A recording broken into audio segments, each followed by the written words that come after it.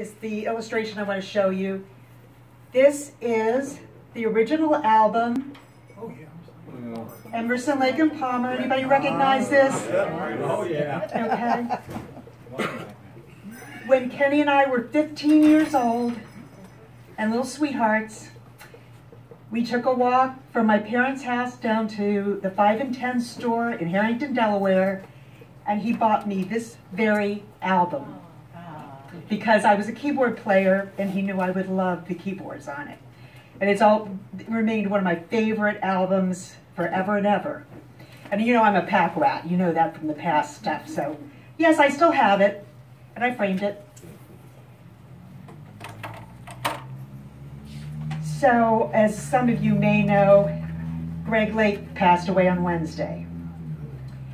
So in his honor, I would like to read his lyrics to I Believe in Father Christmas.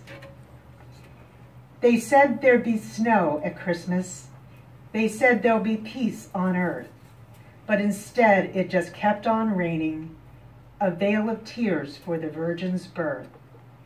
I remember one Christmas morning, a winter's light and a distant choir, and the peal of a bell and that Christmas tree smell, and their eyes full of tinsel and fire.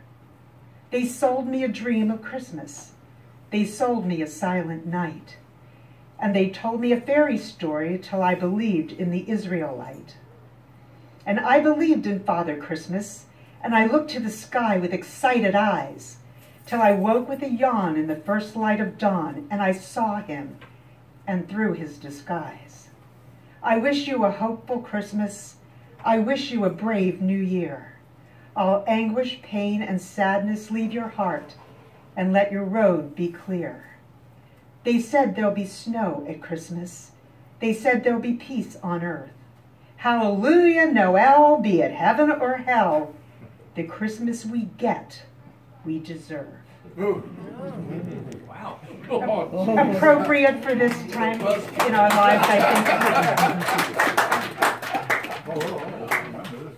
I wrote kind of a companion piece, although it's about something that annoys me every year it comes up.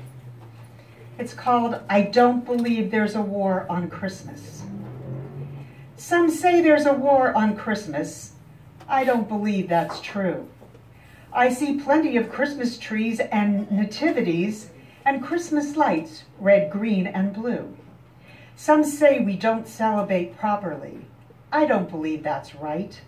I hear choirs singing about the Christ child. I hear them singing Silent Night. Some coffee drinkers get offended. I don't really understand why Starbucks cups must honor Christmas in just the way a few demand. Some are angry at your greeting if you say happy holidays. But may I remind there are other religions and different folks celebrate in different ways. Some say there's a war on Christmas, but what I believe to be true, there's a war on tolerance and respect for the differences that exist in me and you. So in your travels this Christmas season, if someone smiles with a greeting that's kind, however they may choose to address you, return the favor with goodwill in mind.